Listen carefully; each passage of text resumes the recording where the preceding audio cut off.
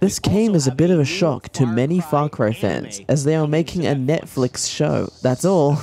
See you uh, next time. We've got the Far Cry logo. Oh, it's just the logo. I was gonna say, what's interesting. This is I wonder which Far Cry it's based on because I mean, Far Cry's gone everywhere, right?